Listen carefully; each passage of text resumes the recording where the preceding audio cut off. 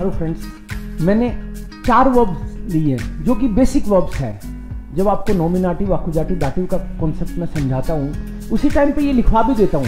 आपको पता है ये वर्ब्स जैसे, गिफालन, पसंद आना, पसंद करना नहीं, पसंद आना। गिह्योरन टू बिलोंग टू किसी चीज़ से संबंधित होना। श्मेकन टेस्ट आना, पसंद सूट करना। तो जनरली इन चार वर्ब को लेके कभी कभी बच्चे थोड़े से परेशान होते हैं तो मेरे को लगा इस पर भी थोड़ी सी बात करी जाए। ये बेसिक लेवल की वर्ब्स हैं बार बार आती हैं, और डाटी वाली जो बेसिक लिस्ट है उसी में से है। तो इनको यूज़ करते टाइम पे आप पर्सन को ऑब्जेक्ट की तरह देखें। जैसे मैं बोलूँ, मुझे ये पेन पसंद है। स्टिफ्ट जो है ये पसंद है मुझे। तो मैं बोलूँगा, देर स्टिफ्ट गिफेल्ट मियर मुझे ये चेयर पसंद है। तो मैं बोलूँगा देयर स्टूल गिफेल्ट मियर कुल मिला के पर्सन को डाटिव बनाना है। आप जब बात करेंगे तो आपको उसे लगेगा, यार, मुझे ही तो पसंद है। तो मैं तो सब्जेक्ट होना चाहिए। ना।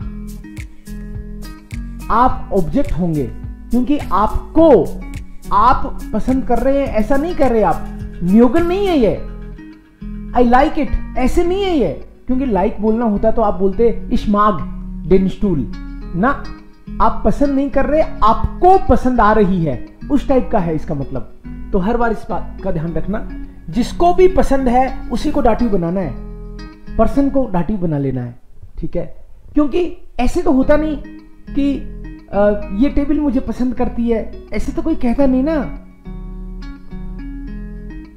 सो so, पर्सन को डाटिव बनाना है क्योंकि मुझको पसंद है उसको पसंद है मेरी फ्रेंड को पसंद है मेरे पापा को पसंद है। को का सेंस रहता है इसमें। ऐसे ही गिहोरन का दस हाउस गिहोट मियर ये घर।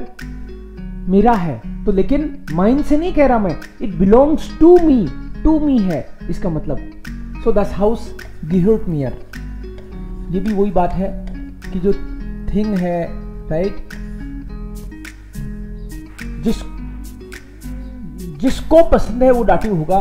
दस हाउस गिहोट मियर ऐसे ही belong it belongs to me तो गिहोट मियर होगा इसमें भी। क्योंकि मैं घर से संबंधित हूँ, ऐसे नहीं कहते। ये घर मुझसे संबंधित है right it belongs to me English में देखें तो शायद बेटर लगता है थोड़ा। इसमें स्मैकन का मतलब है इट टेस्ट मी गुड मतलब इसका टेस्ट मुझको आता है तो को का भाव है इसमें भी। सो दस एसन स्मैक मी ए गुड das Essen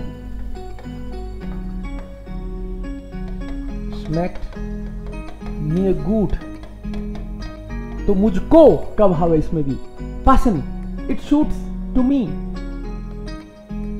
दस हेम्ट पास्ट मियर मेरे जचता है। दस हेम्ट